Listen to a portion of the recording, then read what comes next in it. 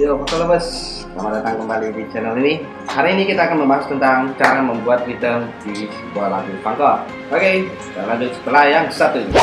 Namaku Ati DJ paling kecil di NT Aku coba-coba menciptakan lagu yang ini Walaupun musiknya hanya seperti ini Yang penting malam ini kita semua bisa happy Nah, sebelum kita mulai, saya ingin berterima kasih kepada teman-teman yang setelah pertama kali mengkomen di kolom komentar saat video saya baru di-upload. Oke, tandanya kalian sudah menanti selama 24 jam standby untuk tunggu saya mengupload video. Oke, sekali lagi terima kasih. Buat teman-teman yang pernah bertanya tentang gimana sih cara membuat lagu funkor biar nggak kosong gitu. Nah, rhythm adalah salah satu solusinya. Nah, bagaimana cara membuatnya? Mari kita simak bersama-sama. Eh, sebelum kita membuat rhythm, pertama-tama harus kita buat dulu baseline-nya. Nah, di sini saya membuatnya di A minor dan tidak akan saya bahas tentang baseline di sini. Kalian bisa mempelajari tentang baseline yang ada di link di atas sini. Di sana saya ada buat tutorialnya. Oke. Nah, ini adalah baseline-nya.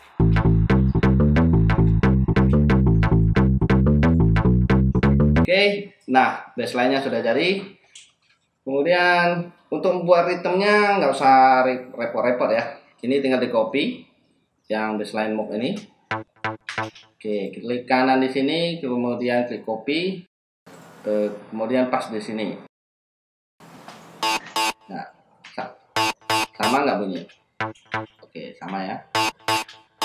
Oke, kemudian ini di select all, kemudian ditarik ke samping yang ini dihapus biar jalannya itu satu-satu aja nggak empat ya. Uh, maksudnya satu setiap dua ketuk. Jadi ada ritmenya gitu. Nah, jadi saling saut-sautan gitu. Oke. Nah kemudian ritme kedua saya buat pakai platinum sound ini copy kemudian paste juga di sini. Oke. Nah ini nih dikecilin segini. Tapi jangan di sini. Uh, di kita letak di uh, oktav ketujuh. Kemudian di select all kemudian di copy tarik ke bawah. Satu dua tiga empat lima. Lima. Oke. okay. Kemudian satunya lagi adalah GAT. GAT ini adalah bunyi Eurogate, Eurogate, Eurogate. Oke. Yang ada di Citrus ya. Nah. Kemudian jadi copy, copy taruh ini. Taruh ke Eurogate. Nah, ini dimajuin. Ekornya begini. Oke, nah ini di La ya. Nah, kita ganti jadi Do. Oke, tapi ya di 6. Di C6. Udah. Oke, kemudian satu lagi ini adalah Fed. Fed juga ada di Citrus. Citrusnya bisa dengan mengklik tanda tambah yang di sini, nah, kemudian masukin Citrus gitu ya. Kemudian klik kanan, cari Fed Saw, Fed Saw ada di sini, ya. Kemudian di sini klik kanan, bikin bikin nadanya, hmm, tat tat tat tat. Lanjut aja, tat tat tat tat tat. Nah,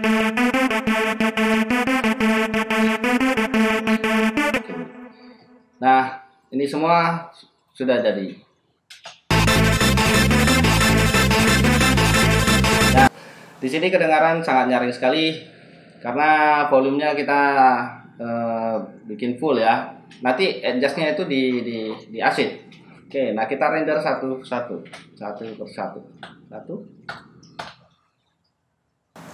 baseline satu baseline dua baseline satu.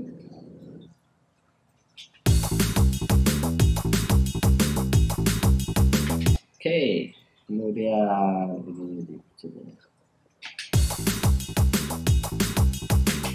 ataupun ah, kemudian ini frekuensinya low-nya di kill ya. Eh, sekitar segini 105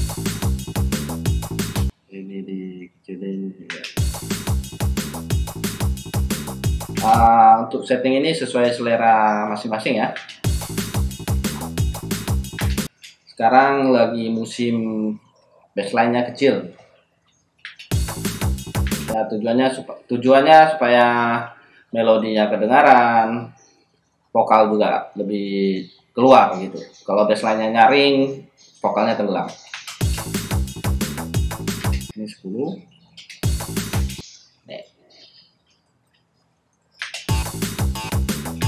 oke kemudian ini.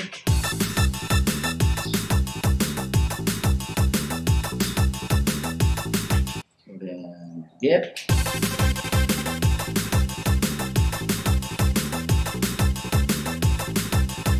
Nah kemudian nih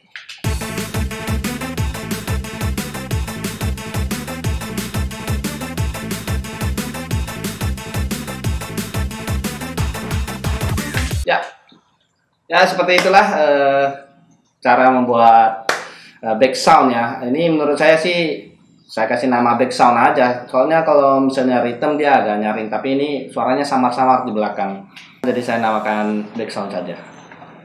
Kemudian ini adalah contoh yang sudah jadi.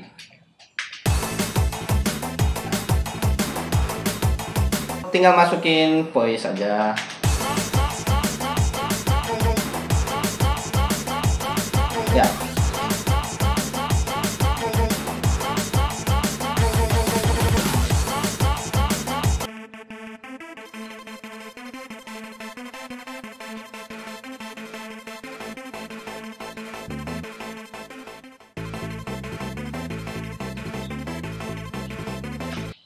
Oke, kemudian jika ada jika ada membuat melodinya maka akan jadi seperti ini.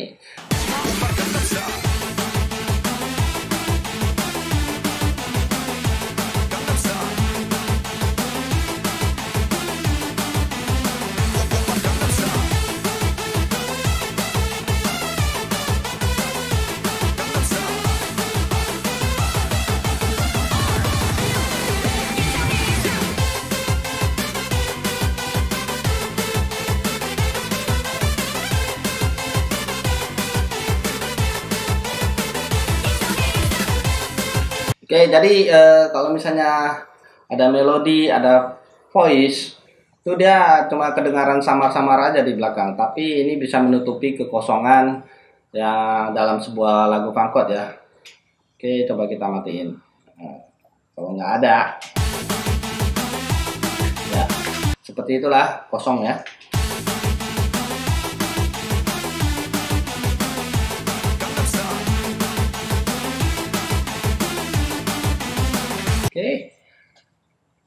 Sini melodinya akan saya bahas di video yang lain saja ya. Oke, sampai di sini dulu video tentang rhythm ini. Sampai ketemu lagi di tutorial selanjutnya.